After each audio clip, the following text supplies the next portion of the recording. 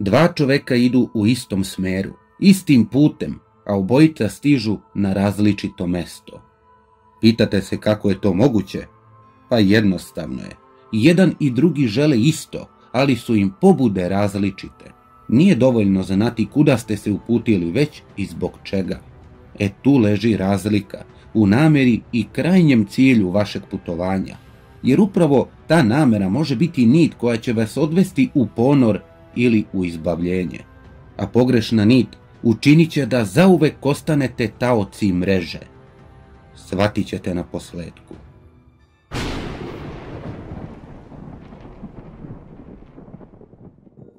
U neko prastaro vreme pročulo se za jednu planinu u Srbiji.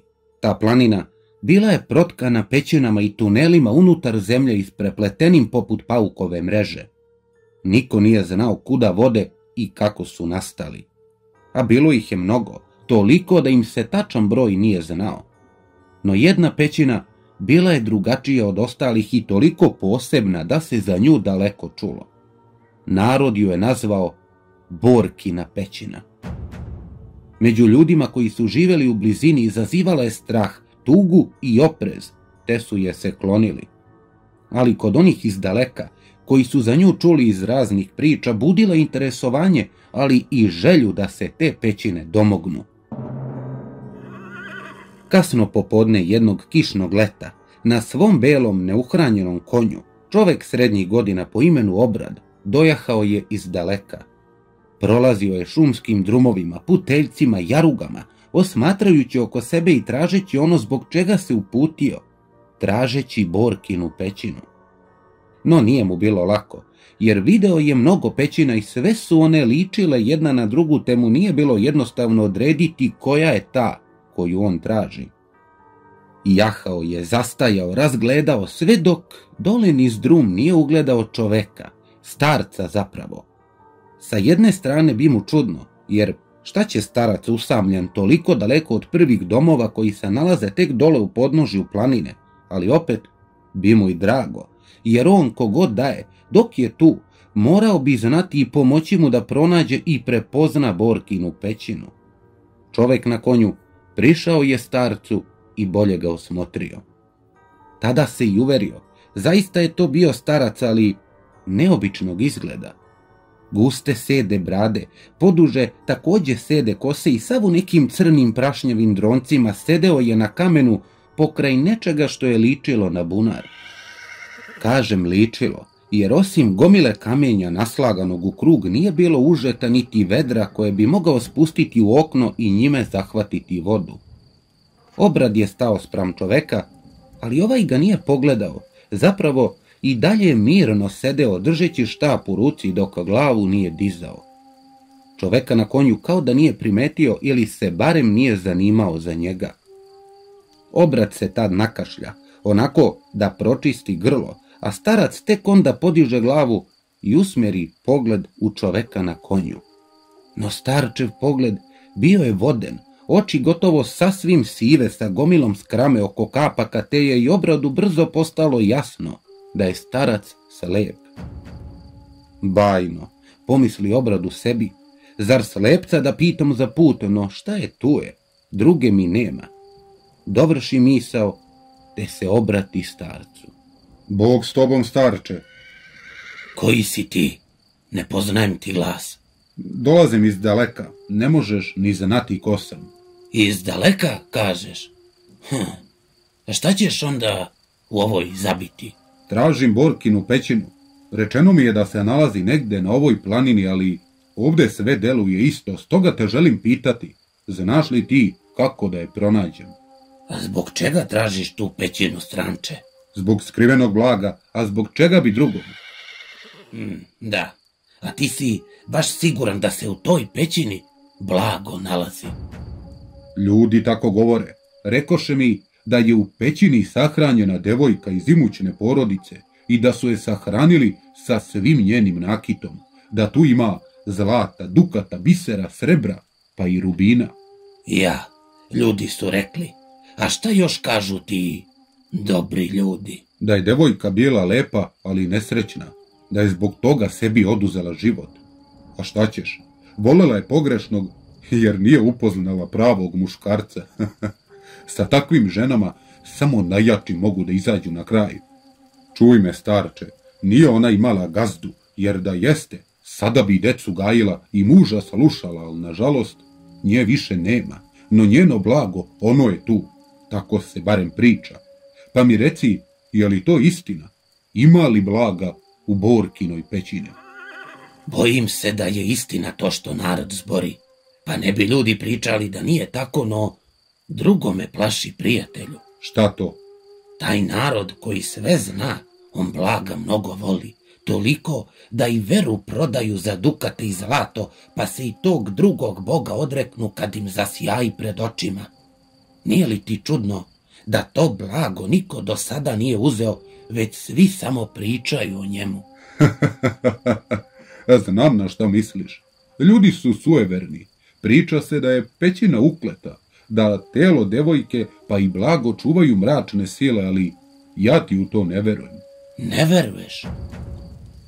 Ma kakvi, mračne sile, aveti, akrepi, duhovi, štali. Pa reci mi starče, jesi li ti nekada video kakvog duha? Ja sam slep, momče, ne bih ga prepoznao ni da do mene stoji. A i to što zboriš, nego znaš li put do pećine? Pomogneš li mi? Dajem ti reč, bogato ću te nagraditi. Put do tamo znam, ali nagrada mi ne treba. Ne voliš blago? Pa ti si redka zverka starče, dopadaš mi se. Mladi neznanče, moje oči odavno sjaj ne vide, te me blaga zaslepeti više ne mogu. Put ću ti pokazati, ali moraš mi reći prvo, šta će tebi toliko blago? Hoćeš li mi stvarno pokazati put ako ti kažem? Dajem ti reč da hoću, ali iskren budi. Otvori se, da ti srce vidim kada oči već ne mogu. Moram znati koga u pećinu šaljem, da bih te mogao upozoriti. Dobro, bit ću iskren. Treba mi to blago, želim ga. Čitav vek, čuj me, čitav vek proveo sam u bedi, nadničio za druge, čistio govna tuđe stoke i pio jeftina vina. Dosta mi je starče, dosta da gledam bogate kako se rasipaju, a nisu ni bolji ni pametniji od mene. Hoću da živim, da prođem, da vidim i kad mi se dopadne ono što vidim da ga kupim. Konje, kola, kuće, sluge, žene, ljubav. Sirotinju niko neće, a ja više neću da budem sirotinja. Hoću da se čuje za mene, da svi znaju ko je obrad, gazda obrad da postanem, to hoću. Da se tresu kada mi ime čuju, da ih plaši kasa mojih konja, pravih konja, ne ove rage koja lipše na iole jačem suncu. E, moj stranče, pored svojih zdravih očiju, ti si sleplji od mene slepca. Što tako more govoriš? Da bi istekao konje, kola i manja, trebaju ti ruke koje pamet prate. Da bi kupio ljude, sluge, žene, ne treba ti blago već. Dalekovidost, umnost, predskazanje i naum. No ako to nemaš, onda može poslužiti i sladak, ali otrovan jezik sklon lažnim obećanjima. A ljubav, nju nikada kupiti ne možeš, pa i da svo blago ovog sveta u svoj buđelar smestiš. Jer ljubav koju blagom plaćaš ne dolazi iz srca već iz glave, a zbog takve ćeš ljubavi momče tu istu glavu zauvek iskubiti. Pametno zboriš, starče, priznajem ti to, ali da si ti zaista tako pametan, sada bi bio neko, imao bi nešto i ne bi se lep ovom zabiti tumarao u droncima tako prljav i bolestan.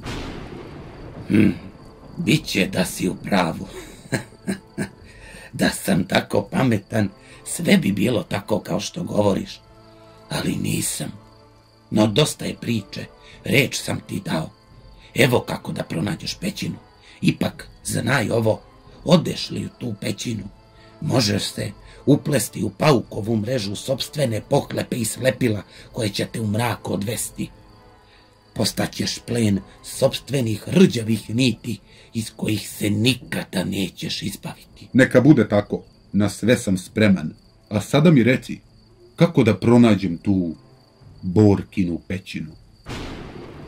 Slepi starac se teškom mukom pridigao, naslonio na zidine starog bunara i sa ispruženom rukom obradu pažljivo pokazivao kuda da ide, gde da skrene i kako da prepozna Borkinu pećinu. Obrad ga je pažljivo slušao, ipak čudeći se, kako slepi starac može tako precizno znati svaki kamen, svaki putić, svaku jarugu ove guste i mračne šume. To je probudilo određenu sumnju kod obrada, te je pred sam polazak upitao starca. Je li starče, a da ne šalješ ti mene u neku zamku, hm? Hoću reći, kako to da ti slep tako dobro poznaješ svaki kamen ove šume? Nisam uvek slep bio. Ja sam nekada davno mogao videti, ali muka je kad čovjek preslepilo slepi. A to, da li te u nevolju šaljem, jasno sam ti rekao šta će se dogoditi odešli u pećinu. Tamo hiljadu čuda ima i svako od njih možete ubiti pre nego što stigneš trepnuti. Samo ti pokazah put kako da stigneš, ali na ovaj put, stranče, ti si krenuo mnogo pre nego što si na mene slepog naleteo. Neka ti bude. I ne plašim se. Imam ovu sablju. Jedino što mi je moj ubogi nesposobni otac ostavio, a da vredi ičemu. Njome ću saseći sve i svakog ko mi se na putu ispreči. Da, razumem te. Roditelji oni, oni nam ostavljaju ili ono što žele, ili ono što imaju. A tvoj otac, premda ti je želeo mnogo više, uspeo ti je ostaviti malo, ali je i to malo bilo sve što je on imao. Trebao bi to više ceniti. E pa nije dovoljno. Zato će to blago biti moje. I neću da pričam o mom ocu, još manje neću da skončam u bedi kao on. Nego, ožedneo sam od ove priče. Vidim kako da zajtim vode iz tog bunara, da napojim sebe i ovu ragu da mi ne lipše pre vremena. Nema vode. Kako nema? Ovaj bunar je presušio. Suv je poput baruta. Kako bre presušio, pa što sediš onda pokraj njega? Ne naginji se. Vidjet ćete. Ko će me more vidjeti, šta bolazniš? Bezdan. Bezdan će te vidjeti, a to ne želiš. Veruj mi. Čuj me. Kada uspratiš tok ove jaruge, ona će te odvesti do male rečice. Čućeš žubor čiste, bistre vode. Tu se napoj. Potom kreni uzvodno i što ti hladnije bude bilo, to si bliže pećini znaj. Kada dođeš do velikog okna, ulaza, čućeš nešto poput krckanja, odjekivać iznutra.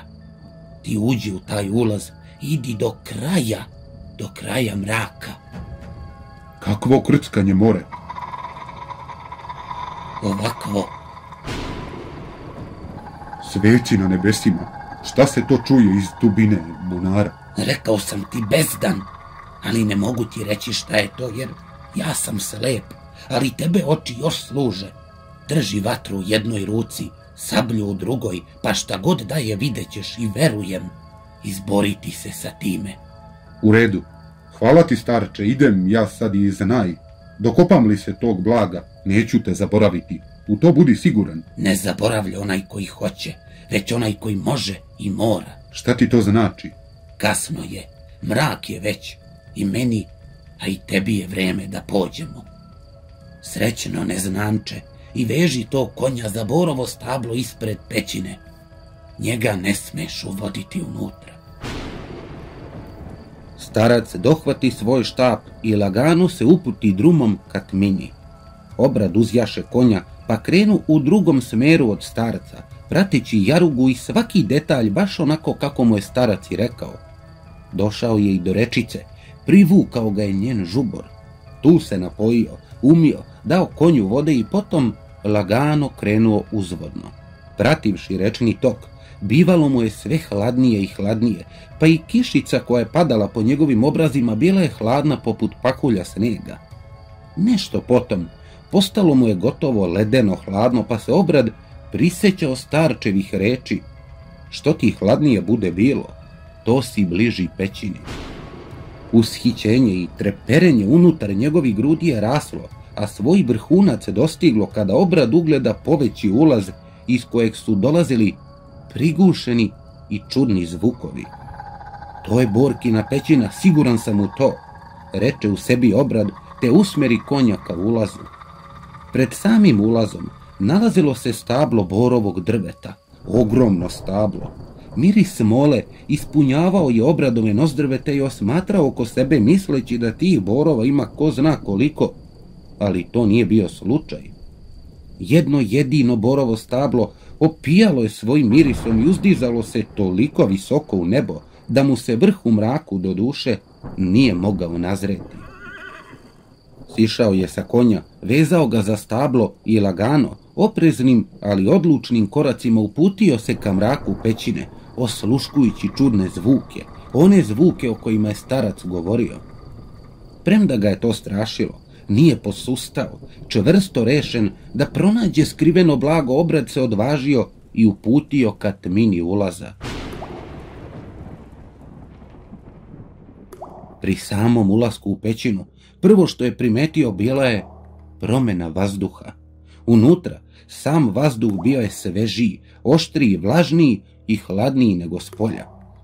Ulaz u pećinu bio je uzak, te je s prvim koracima uz gorući plamen vatre mogao videti zidove. Glatki i grubi zidovi istovremeno, sa nebrojenim pukotinama i udubljenjima koja formiraju niše i kanale. Također je ugledao kamenje kakvo nikada pre nije. Bilo je čarobno, neverovatno, od belog, crvenog, sivog pa i tamno ružičasto kamena koji se presijavao usled plamena vatre i svetlucao poput najsjajnijih dukata. Obradove oči, i one su svetlucale, od lepote, od sjaja skrivenog u mraku. Ipak sa svakim novim korakom, pećina je bivala mračnija i tamnija jer, kao da se širila, takav utisak je stekao, od ulaza ka dubini širila se i nekako dužila koračao je blago na dole, kao da kanali vode u dubine, a toga je ježilo, jer podsjećalo ga je na kakvu grobnicu. U desnoj ruci držao je sablju, a u levoj vatru. Gorući plamen više nije mogao Bog zna koliko vasjati pećinu, a i mrak crnji od najcrnje noći je bio. I sve vreme koža mu se kostrešila, a uši su mu parali čudni zvukovi poput krckanja, cvilenja možda ili nečeg neodređenog, a oni istovremeno upotpunjeni kapima koje padaju svuda oko njega i čine da napetost raste i ubrzava lupanje u njegovim grudima. Na jednom obrad je stigao do račvanja. Bila su to dva ulaza zapravo, levi i desni. Levi ulaz veći, ali potpuno prekriven gustom belom paučinom poput zavese preko prozora dok desni ulaz, na njemu nije bilo paučine, ali je bio čudnog oblika, mali, nizak i uzak, jedva dovoljan da se i on sam mogao provući, te se misli obrad. Ako je devojka sahranjena u sanduku punom blaga, sanduk sa njenim telom teško bi mogao proći kroz tako mali otvor. I premda nikako nije voleo paukove, smatrao je da mora poći prvim ulazom kroz paučinu pa dalje. To je i učinio. Svojom sabljom sasekao je paučinu poput tanke tkanine i nastavio dalje ka dubini pećine. I već tada počeo se premišljati, vredi li nastaviti, vredi li rizikovati život zbog blaga, jer šta će mu blago ako u pećini zanavek ostane zarobljen? No pohlepa u njemu, ona je pobedila, pobedila i nadvladala i razum i strah. Nastavio je dalje, ali ubrzo naišao na svojevrsni zid. Zid od paukove mreže. Od jedne do druge strane pećine pružala se mreža protkana podebljim nitima kakve ranije nije video, jer tako debele niti nije mogao isplesti mali pauk. Zar ne? Mislio se obrad. Osim toga, u samoj mreži nalazilo se mnogo paučinja, a paučinje to su mesta gde paukovi žive, gde mrežaju i čuvaju svoja jaja. Bilo ih je na desetine, različitih oblika i veličina, ali najčešće ove što obradu njih gleda, bile su okrugle, poput meseca i poveće, gotovo tolike da ih rukama ne bi mogao obuhvatiti. I znao je da bi prošao dalje morao bi iseći mrežu, ali pažljivo, da ne ošteti paučinje, jer bi tako mogao osloboditi na hiljade i hiljade malih paukova. Duboko je udahnuo i odvažio Krenuo sabljom lagano i oprezno da iseče paučinu, ali nije mogao. kako krene vrhom preko niti, tako sablja zapne, a nit se rastigne. A kako zapinje i trese mrežu, tako dubinama pećine poče odzvanjati i podrhtavati kao da se tlo trese. Bilo je jezivo, sablasno, zloslutno, ali mislio se obrad, ko zna koliko daleko i duboko se pruža i mreža, pa valjda zbog toga tamo na nekom kraju odjekuje i prenosi zvuk. Mora da je to. I pokušavao je kroz mrežu sa svih strana pa malo jače i snažnije, ali nije mogao. Mreža se nije htela pocepati. Obrad tad znajući da mora proći kroz nju stade, spusti vatru na tlo, te obema rukama ščepa sablju i podiže iznad glave poput sekire. Na nišani i kao da podebe opanje želi raspolutiti, zamahnu snažno koliko je mogao i tek tad sablja preseče mrežu niti. Ali onda, kako se mreža pocepa, deo nje pade na tlo do vatre, a plame nočas posla uhvati debele niti te se vatra poče širiti. Za svega nekoliko trenutaka vatra se toliko razbukti paukovom mrežom da paučinje počeše padati na tlo i pucati od siline pada i vatre. Padale su kao zrele kruške sa grana i sa treskom od tlo pećine oslobađale male paukove. I svake paučinje koja je pala tu pred obradove noge, na stotine, pa možda čak i hiljade paukova razmileše se po tlu, tumarajući oko obrada. On dreknu i sve glasa, te se sagne, zgrabi vatru i poče mlatarati njome, ne bili paukove otero od sebe, ali nije mogao. Koliko god da ih je palio, paučinje su i dalje padale oko njega i nanovo oslobađale vojsku paukova. Mlatarao je mahnito, do iznemoglosti, sve dok mu jedna paučinja ne pade na rame, baš tu do njegovog vrata i glave, te se razmileše paukovi po čitavom njegovom telu. Usle straha i nemogućnosti da vlada sobom, obrad proleti kroz ostatke spaljene vatre i nastavi dalje ka pećini i mraku udarajući rukama po sebi. Jurio je i urlao sve dok se u toj brzini nije sapleo kamen i pao na tlo. Valjao se, okretao i konačno nekako uspeo zbaciti paukove sa sebe. Tada se pridigao, ali i shvatio da mu je sablja ostala negde iza, kod paučine verovatno, ali znao je obra da se pomač nikako neće vratiti. Pogledao je u plamen, a vatra je i dalje gorela nekoliko koraka napred, dalje od njega. Ispala mu je iz ruke kako se sapleo i pao. Došao je do nje, ščepao je i pridigao se, no kako se uspravio, shvatio je da neko stoji pred njim. Tu, na korak od njega, već napet. Uplašen i načet, dreknuo je poput deteta, ali ubrzo se smirio, shvativši da pred njim stoji dobro poznato lice. Idi, dođavola starče, prepade me. Bio je to starac, onaj starac koji ga je na pećinu i uputio. Stajao je mirno i dalje sivog vodenog pogleda slepo gledajući u obrada. Prepao si me za dva života, što se nisi oglasio, mogao sam premreti od straha. No starac ništa, miran, nem, slep i čudan.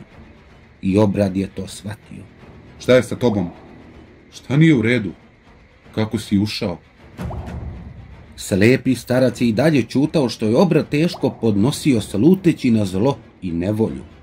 Zašto čutiš, dođavola, reci nešto šta je sa tobom? Starac podiže svoje ruke, raširi ih koliko je mogao i otvori usta širom, a iz usta počeše mileti izlaziti mali paukovi spuštajući mu se niz obraze i bradu do grudi i niz trbuh ka nogama. Izbijali su u stotinama i širili se po njemu poput mrava po zgaženom mravinjaku. Obrad poče duboko disati i uzmicati korak po korak, strahujući od onog što vidi i sluteći svoj kraj. Načini još jedan korak nazad, izgazi na nešto. Nešto što je kvrcnulo pod njegovim stopalom poput suve grane. Izbečenih očiju još jednom pogleda u starca, koji, mučeći se za svaku reč, tek tada teško progovori. Nema nazad, nema napred. Ovo je kraj tvog puta. Bezdan te je stigla, ona nek te proguta. Obrad čuo je ciku, krckanje, cvilenje iza svojih leđa, tu iznad glave, okrenuo se i ugledao zver. Ogromnog pauka, tri puta većeg od njega samog, Neman. Sa osam svojih očiju gledao je u već skamenjenog obrada koji se usled straha nije mogao ni mrdnuti, premda su bale iz paukovih čeljusti padale po njemu. A jedna bala pala je i na plamen vatre koja se istog trena zagasila, te obrad ostade u potpunom mraku. Pauk, zver, bezdan, čuvar borkine pećine. Razjapio je čeljusti, a nesrećni obrad samo je uspeo odreknuti sve grlo, no ništa više od toga. Njegov krik širio se svim kanalima pećine, no ubrzo je sasvim utihnuo. To je bilo posljednje što se od obrada moglo čuti. Vrisak, urlik, jauk, pre nego što je i sam postao deo niti, plen upleten u paukovu mrežu.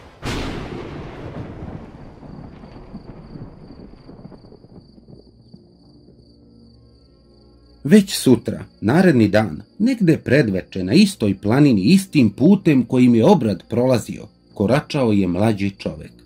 Taj čovek bio je na istom zadatku poput obrada, a to je potraga za Borkinom pećinom. Kao što rekoh, dva čoveka koja se ne poznaju idu u istom smeru, istim putem, a obojica stižu na različito mesto. Mladić je hodao, razgledao i na jednom ispred sebe pokraj starog bunara ugledao mladu devojku. Sedela je na kamenu u beloj haljini i gledala u njega. Prišao joj je i bolje je osmotrio. Bila je lepa, duge zlatne kose vezane u dve pletenice koje su joj padale preko ramena, oči kestenaste, premda pomalo tužne, bele puti i nežnih ruku, a oko vrata bila joj vezana marama zlatne boje poput njene kose, a kosa joj sijala je poput dukata presijavajući se na zracima zalazećeg sunca koje se stidljivo probijalo kroz krošnje ozelenelog drveća. Mladić stade tu pred nju, pa joj se obrati. Dobar dan ili dobroveče, gospođice, kako vam je milije? Potrebna mi je pomoć. No devojka ništa nije govorila, već je samo zamišljeno gledala u momka. Njemu to bi čudno, te ustukne korak dva. Oprostite ako sam vas prepao, a nisam se predstavio. Ja sam Dragomir, dolazim iz daleka. Tragam za Borkinom pećinom. Jeste li čuli za nju? Devojka tad skoči kao oparena pa i sama napravi korak nazad. Nemojte se plašiti, molim vas, ne želim vam zlo. Samo sam kanio obratiti vam se za pomoć. Lepa devojka pogleda u daljinu preko mladićevog ramena, no i dalje ništa nije govorila. Mladić pomalo pije njenom lepotom, nije ni primetio da se neko primiče iza njegovih leđa.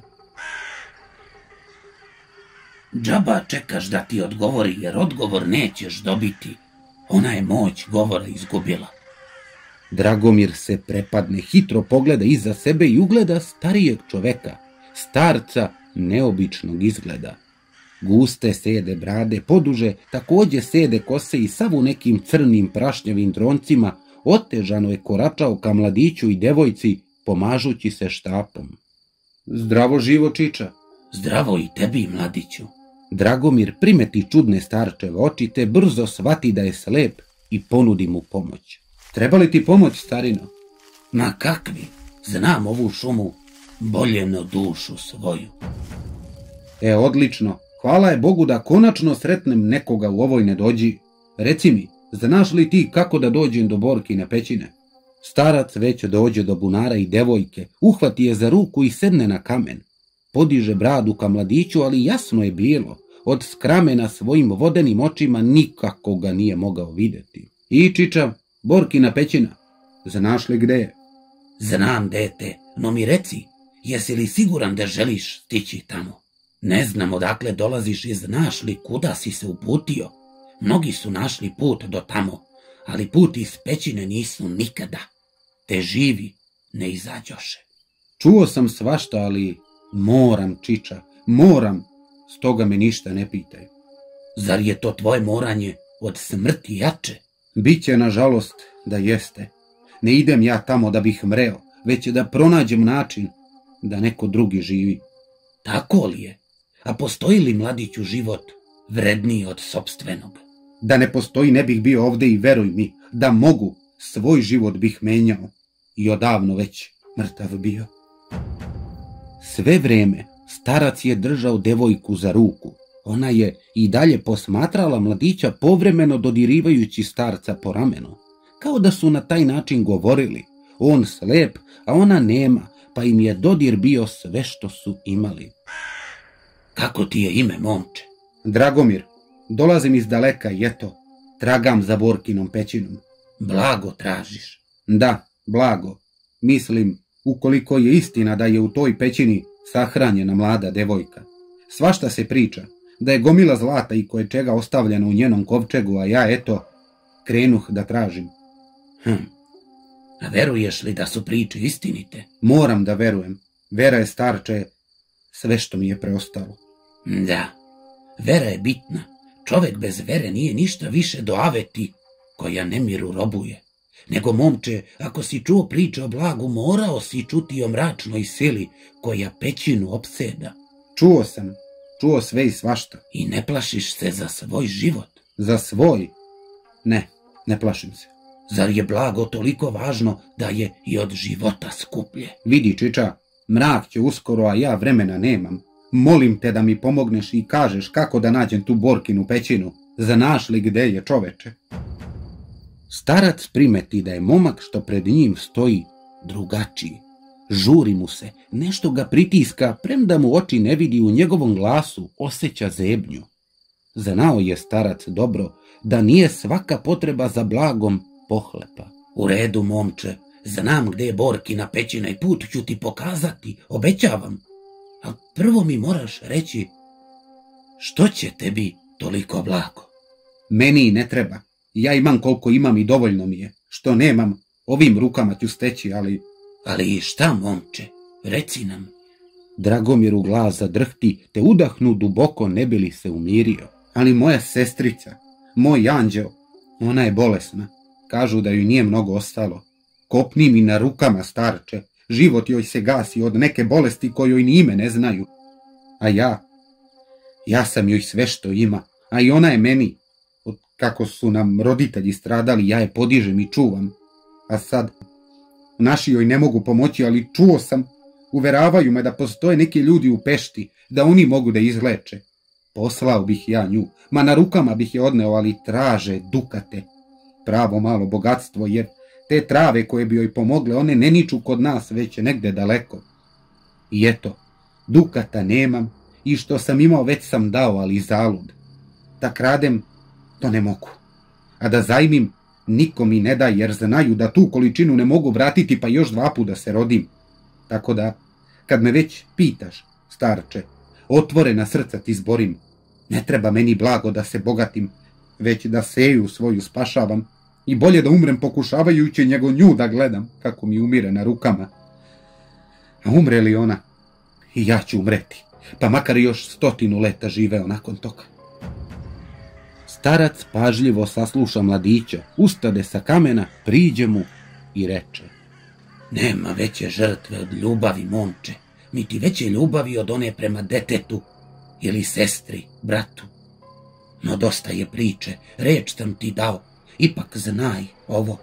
Odeš li u tu pećinu, možeš se uplesti u paukovu mrežu sobstvene boli i slepila, koje ti je ta bol donela i koja će te u mrak zauvek odvesti. Ja sam već u mraku i nek ostanem, samo da mi seja svetlost konačno ugleda. A sada mi reci, preklinjam te, kako da dođem do pećine? Ne, već je mrak. Kako ne, ali, ali obećao si, ja više nemam vremena da... Strpljen, spašen, ne srdi se, momče. Neka moja unuka pođe sa tobom. Ona će te odvesti do pećine, ali znaj, sa tobom ući ne može. Kada nađeš blago, uzmi koliko ti ruke pružaju, ni dukat više ne smeš. Znam šta ti govorim. I kloni se mreže, upleteš li se, zauvek ćeš u njoj ostati. Nego, momče, imaš li dukat kod sebe? Imam jedan jedini, toliko mi je ostalo. Priđi ovom bunaru i ubaci ga unutra. Ne dolazi u obzir, to mi je očev dukat, čuvam ga za sreću. Moraš to da uradiš. Zašto moram, starče, ne razumem, molim te red... Da bi dobio mnogo, moraš da daš svoje sve. Bezdan će tražiti svoju žrtvu, ali ti se od nje možeš odkupiti. Kakva more bezdan? Ona bezdan, koja u pećini živi. Kako ti to znaš? Nisi prvi koji će u pećinu ući, momče, ali možeš biti prvi koji će iz nje živ izaći. Kako to misliš? Uradi kako sam ti rekao i pođi odmah, a vatru drži uza se. Ne ispušta je iz ruku. Dok je momak zbunjeno mislio o starčevim rečima, lepa devojka zlatne kose već je stajala do njega sa ispruženom rukom ka bunaru. Mladić, nemavši izbora, prišao je oknu, izvadio posljednji dukat iz džepa, poljubio ga i bacio u mrak, u ponor bezdana. A iz bezdana dolazili su čudni, mladiću nepoznati zvukovi. Devojka ga zgrabi za ruku i povuče za sobom, te se brzim koracima uputiše niz duži jaruge, dalje ka rečici. Kad stigoše do reke, devojka zastade i pokaza mladiću na bocu za vodu što mu oko pasa beše vezana. On se sagnu, te je napuni do vrha bistrom hladnom tekućinom. Mladiću već tada postade znatno hladnije, te mu i ruke počeše trnuti, ali devojka se na to nije obazirala, već ga je vodila dalje uzvodno, sve dok nisu ugledali visoko borovo drvo. Devojka ga dovede do stabla i pokaza rukom ka ulazu u pećinu, a za stablo vezan konj. Bio je to obradov konj, samo što Dragomir to nije mogao znati. Konj klekao jadan, žedan, gladan i znemogao. Dragomir mu priđe, pomiluje ga pitavši samog sebe čiji li je ovo mučenik i koga je tu ostavio. Uze bocu sa vodom, pa sve do posljednje kapi sune u grlo životinje, ne bi li je makar malo osvežio i povratio. Osvrnu se oko sebe, ugleda malo trave sa strane te odjuri, počupa travu i donese spustivši je pred iznemoglog konja. No dok se osvrnuo, devojke nije bilo, ni kraj njega ni oko njega, kao da ju je mrak negde skrio. Setio se tada reči starca, da ona u pećinu sa njim ne može ući, te je nije ni tražio ni čekao, već držeći vatru u rukama, sam uđe u tminu. Koračajući uskim ulazom pećine, Dragomir je video i osjetio isto što i obrad prethodni dan. Svežiji vazduh, zidove i kamenje, zvukove i krckanje. A kako se pećina širila, tako je i mrak bio crnji, činilo mu se. No hrabro i oprezno nastavio je dalje sve dok ga put nije doveo do račvanja. Dva ulaza bila su pred njim. Prvi ulaz, levi, veći, potpuno prekriven gustom paukovom mrežom i drugi, sa desne strane manji, toliko mali zapravo da bi i on jedva mogao proći kroz njega. Mislio se Dragomir tada, mislio i zaključio isto kao i obrad da, ukoliko je devojka sahranjena u sanduku punom blaga, teško da bi iko sanduk mogao provući kroz tako malen otvor. Te je otišao levo, kaneći da vatrom ili golim rukama pocepa mrežu. I baš dok se razmišljao šta mu je činiti, učinilo mu se da ga neko posmatra. Osjetio je poglede na sebi. Vatru usmjeri na desno, ka malom ulazu i na tren, na svega jedan tren ugleda devojku zlatne kose. Gledala ga je provučene glave kroz otvor i čim ju je svetlost vatre obasjala, nestala je, povukla se. Stani, nemoj da ideš, stani! Dragomir ju je prepoznao i premda mu bi čudno šta će ona tu i kako je ušla, nije dangubio, već je pojurio ka otvoru i dozivao je, ali ona se nije vratila. Tada reši da se i sam nekako provuče kroz ulaz i pođe za njom. I učinio je tako. Teškom mukom se provukao, ali onda odjednom, odjednom se našao u neobičnom okruženju. Taj deo pećine bio je zatvoren poput prostorije, sobe. Nizak također, sa ispruženom rukom na gore Dragomir je dodirivao kamen. Levo od njega zid, desno od njega zid, pravo zid. Zbunjen, nije mu imalo smisla. Ako je sve zatvoreno, gde je onda devojka utekla? No potom, ispred, na sredini, ugledao je poveći dugačak kamen, poput dugačkog stola. Na njemu je nešto bilo prekriveno belim prekrivačem. Dragomir je prišao i rukom svukao prekrivač, a tada ugledao. Na tom kamenu nalazilo se telo, kosti zapravo, toliko je od tela ostalo, kosti, kosti devojke. Videvši to, Dragomir on zapuši svoja usta da ne bi vrisnuo i skljoka se na pod te počne plakati, jer video je i shvatio. Telo devojke bilo je odeveno u belu haljinu, a kosa vezana u dve pletenice, a na vratu marama. To su bile kosti devojke koja ga je dovela do pećine, neme starčeve unuke. To je Borka, ridao je misleći se. Borka, nesrećnica koja se ubila, njen duh ili šta god daje. Ona ga i dovela ovde, zato je i nestala, zato je iščezla. Lako je nestati onome ko odavno živ nije. Soluđani Dragomir se nekako primirio, pridigao i ponovo osmotrio. Svuda oko kostiju bili su poređani dukati, zlatnici pa i rubini.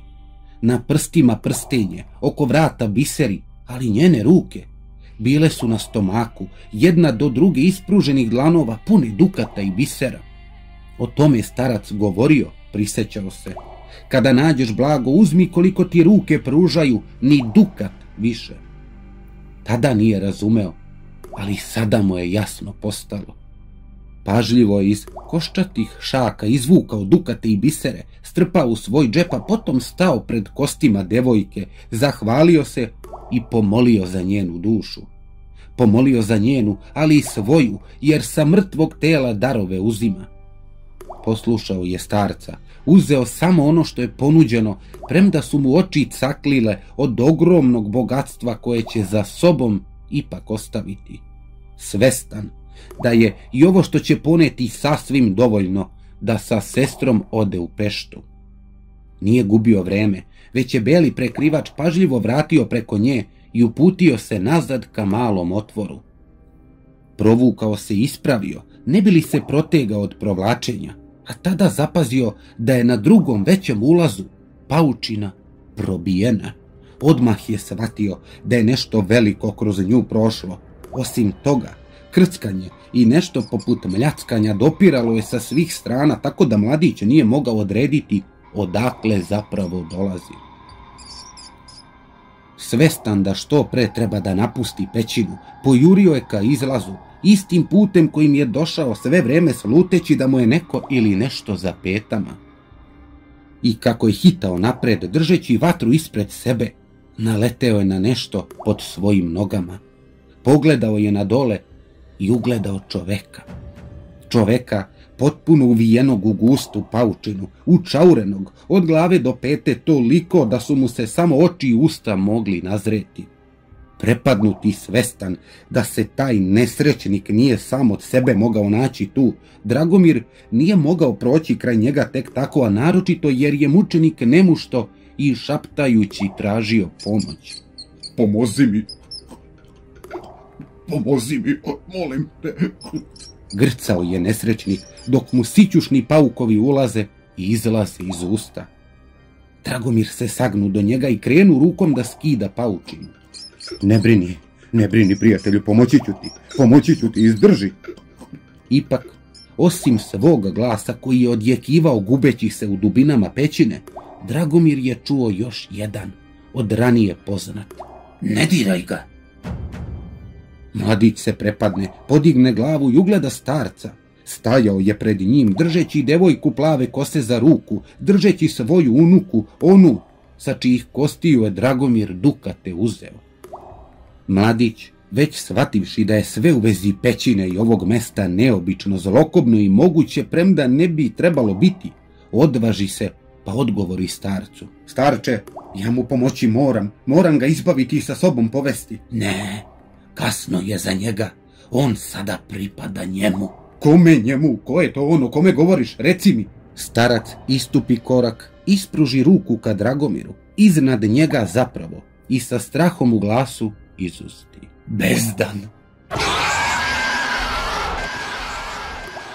Tada je i mladić osjetio mljackanje iznad sebe. Okrenuo se i ugledao Neman, zver, čuvara Borkine pećine, ogromnog pauka tri puta većeg od njega samog. Samo je preplašen zinuo i počeo se tresti poput pruta na snažnom vetru, a potom osjetio da ga neko povlači nazad. Starac zgrabio ga je za ruku, povukao iza, a sebe stavio između Dragomira i Nemani. Ispružio je svoju ruku, kao da nešto pruža ogromno zveri, a onda počeo govoriti nešto što Dragomir nije razumeo. Dok je slepi starac govorio, Pauk je približio svoje čeljusti i njegovo ispruženoj ruci, a tada je i Dragomir video. U šaci starac je držao dukat, onaj dukat koji je mladić bacio u bunar pre nego što je sa nemom devojkom krenuo ka pećini. Video je i lako prepoznao dukat koji je od svog oca dobio. Besna odvratna Neman, pauk, taj dukat uze sebi gotovo kao da ga je uvuka u svoje čeljusti, a tada se i starac pomerio u stranu. Neman priđe paučinom u čaurenom obradu i poče ga motati oko svojih čeljusti, a kada je završio, poče se peti na gore, odvodeći nesrećnog obrada ko zna gde. A starac on se tad obrati Dragomiru po posljednji put. Beži, momče, ka svetlosti idi, bezdan će se vratiti i ne daj da te vidi. Tren ili dva, Dragomir je stajao zbunjen, užasnut sudbinom njemu nepoznatog čoveka, no ipak trgao se, prenuo, osjetivši hladan dodir na svojoj koži. Devojka, Borka, Ponovo ga je zgrabila za ruku i povukla sa sobom ka izlazu.